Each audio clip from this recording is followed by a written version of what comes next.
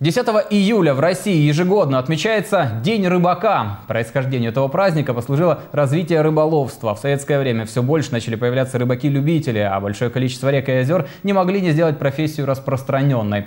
Официально в России День рыбака отмечается с 1980 года. Для нашего города это особенный праздник. Рыбак в Севастополе больше, чем профессия. Здесь этот праздник отмечает каждая семья. Традиционной площадкой празднования в городе Герой является площадь перед культурно-информационным центром. Здесь каждый год проходит ярмарка изделий ручной работы и выставка картин. А после – пышное народное гуляние и вкусные угощения рыбацкой кухни. День рыбака – это один из любимых летних праздников для севастопольских рыболовов, который объединяет людей всех возрастов и занятий. В этом году на ярмарке представлены и новые виды рукоделий. Допустим, вот в этом году очень популярно, очень модно, это разные венки, красивые заколки. Изделия из э, крымских э, полудрагоценных камней. Мастер-класс по гончарному искусству. У нас стоит гончар с кругом, с красивым.